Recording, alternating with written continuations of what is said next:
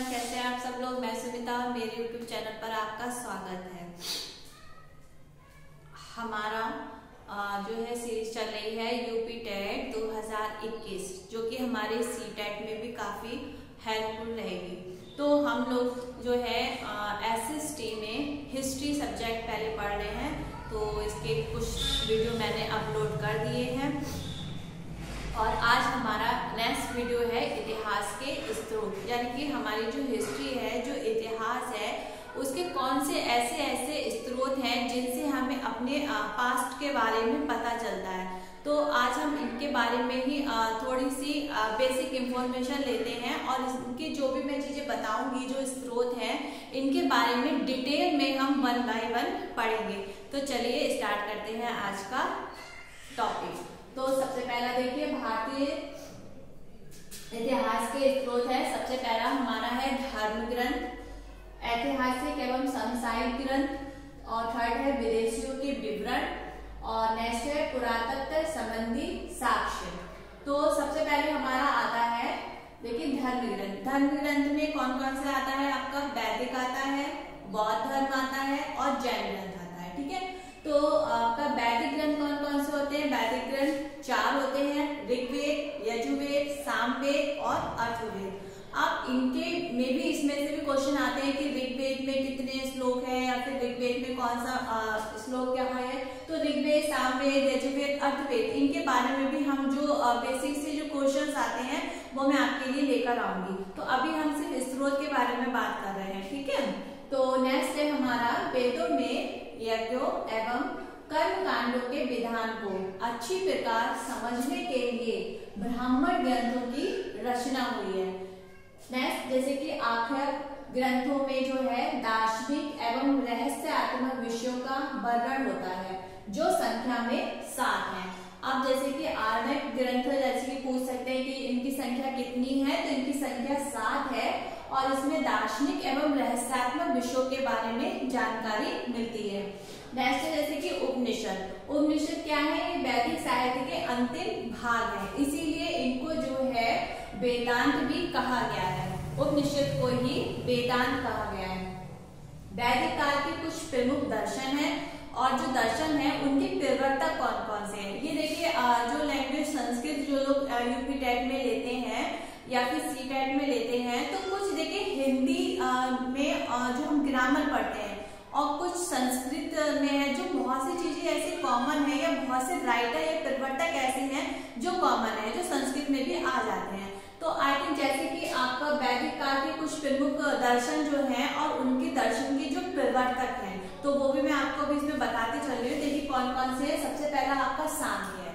तो सांख्य के सांख्य जो आपका दर्शन है, वो किसने लिखा है? कपिल। दूसरा है आपका योग। योग के हैं पतंजलि और वैशेषिक इसके हैं कणाद न्याय इसके हैं गौतम, पूर्व मीमांसा इसके हैं जैमिनी और उत्तर मीमांसा इसके हैं व्यास और चारवाक चारवाक के हैं, चार चारवाकी तो ये जो हमारे प्रमुख दर्शन है, सात दर्शन बताए गए हैं और सात दर्शन के ये सारे प्रवर्तक हैं। तो ये इम्पोर्टेंट है, इसमें आपने देखे होंगे क्वेश्चन आते हैं कि सांख्य दर्शन के प्रवर्तक कौन है। तो ये क्वेश्चन आया है, कपिल जी है, योग से भी रिलेटेड क्वेश्चन आ चुका है कि योग दर्शन के प्रवर्तक कौन है, या फिर पूर्व मीमांसा के कौन है। ये क्वेश्चन कॉमन है, ये क्वेश्चन यूपी टाइप में आए हैं। नेक्स्ट है हमारा बौद्ध धर्म ग्रंथ। अभी हम इनके बारे में जो है नॉर्मल बेसिक सी जो है इंफॉर्मेशन है और डिटेल में जब हमारा टॉपिक आएगा, तब हम इसके बारे में अच्छे से जानेंगे। तो पहले जान लेते हैं कि बौद्ध धर्म ग्रंथ क्या है। ये जो है पाली भाषा में लिखे गए हैं। तो और बुद्ध के जो पूर्व जीवन के, बुद्ध के जो पूर्व के जो जीवन का वर्णन जो है, वो जातक कथाओं में मिलता है। बौद्ध ग्रंथों में त्रिपटक जो है सबसे महत्वपूर्ण है। अब क्वेश्चन यूपी टेट में त्रिपटक भी आया था कि त्रिपटक किससे रिलेटेड है? तो ये हमारे बौद्ध ग्रंथ से रिलेटेड है, बौद्ध धर्म में है है ना?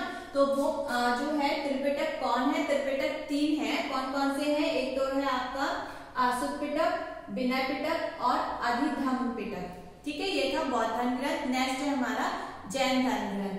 जैन धर्म ग्रंथ कौन सा है? जैन धर्म ग्रंथ इसकी रचना जो है प्राकृत भाषा में हुई है। और इसके जो प्रवर्तक है वो कौन है? महावीर स्वामी जी हैं और उनके द्वारा दिए गए जो मौलिक सिद्धांत हैं, वो चौदह प्राचीन ग्रंथों में है। जैन ग्रंथों का संकलन जो है, वो गुजरात बल्लभी में जो है हुआ था ईशा की छठी शताब्दी में हुआ था। और नेक्स्ट हमारा टॉपिक था, ऐतिहासिक एवं संसारिक ग्रंथ। अब ऐतिहासिक एवं संसारिक ग्रंथ क्या है? इनमें क्या होता है? इनमें जो है इन्हें धर्मेतर साहित्य भी इसका दूसरा नाम है धर्मेतर साहित्य। ये आपने जो है धर्मेतर साहित्य जो है, ऐतिहासिक, ये आपने क्वेश्चन में कहीं ढूंढा पड़ा होगा, समझा होगा।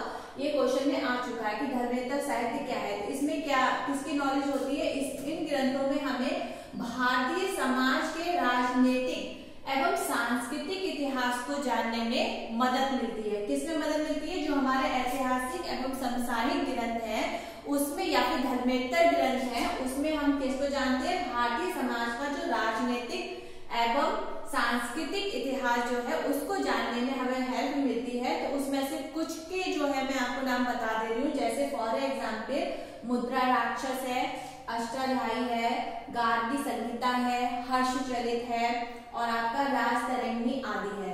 अब क्वेश्चन में आपने देखा होगा क्वेश्चन में फंसता है कि मुद्रा राक्षस किसकी है अष्टाधाई किसकी है, गार्गी संगीता किसकी है हर्षचरित राज तरंगी ये कॉमन से नाम है, ये क्वेश्चन में आते हैं। और इनके राइटर कौन है? तो इसके बारे में भी हम जब क्वेश्चन मैं लेकर आऊँगी, तब आपको इनके राइटर के बारे में भी बताऊँगी। तो इसमें इन में हमें क्या मिलता है? भारतीय समाज से राजनीति एवं सांस्कृतिक इतिहास को जानने की इंफॉर्मेशन हमें इसमें मिलती है। तो ऐसे और बहुत से हैं। दूसरा नेक्स्ट है हमारा विदेशियों के विवरण। विदेशियों के विवरण में क्या आएगा? विदेशी यात्री यानी कि जो विदेशी जो यात्री हमारे भारत में आए थे, उन्होंने हमारे भारत के लिए बहुत, जैसे कि लिखा, अपने अनुभव लिखा, उन्होंने जो देखा, अपना एक्सपीरियंस उसमें लिखा। तो विदेशी यात्रियों एवं लेखकों के विवरण से भारतीय इतिहास की जानकारी हमें मिलती है। तो इसको जो है उन्होंने तीन भागों में बांटा। जैसे कि सबसे पहला आपका यूनानी लेखक, यानी कि रोमन लेखक। तो इसमें आपके जो है टेसियस है, हेरोडोटस आदि है। दूसरा है आपके चीनी लेखक, जो चीनी से आए ठीक है? चीनी लेखक में फायान है हैंसोंग है, इसिंग है चाओ जू आदि है। अब आपने देखा होगा कि हिस्ट्री में ज़्यादातर क्वेश्चन आता है कि फायान किसके काल में आया था, है ना?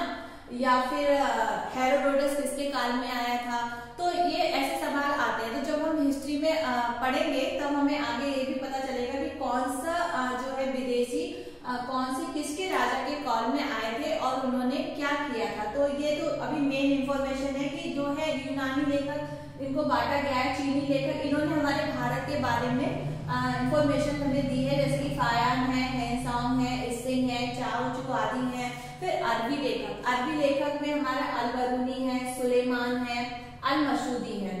ये इनसे भी हमें अपने इतिहास के स्त्रोत यानी कि इतिहास के बारे में जानने में हेल्प मिली क्योंकि इन्होंने अपने लेख में लिखा है। फिर नेक्स्ट है हमारा पुरातत्व संबंधी साक्ष्य जो कि हमारे जो पुरातत्ववादी जो होते हैं उनके द्वारा हमें जो है इसके साक्ष्य मिलते हैं किसके थ्रू मिलते हैं? जैसे कि अभिलेख के जो मैंने आपको पढ़ाया था सिक्के हैं जो पुराने सिक्के मिलते हैं स्मारक मिलते हैं है ना? या फिर भवन है मूर्ति है चित्रकला है तो इनके बारे में हम जानते हैं कि आ, हमारा पुराने टाइम में कैसे किस तरीके से क्या हुआ था? अभिलेखों से हमें पता चलता है कि भाई कौन सी लिपि का यूज़ होता था, कैसे क्या होता था, स्मारक से कि भाई किस तरीके के लोग बनाते थे, किस तरीके के लोग चित्रकला करते थे, किस तरीके से लोग रहते थे। तो ये सारे स्त्रोत जो है हमें पुरातत्व संबंधी साक्ष्य से मिलते हैं।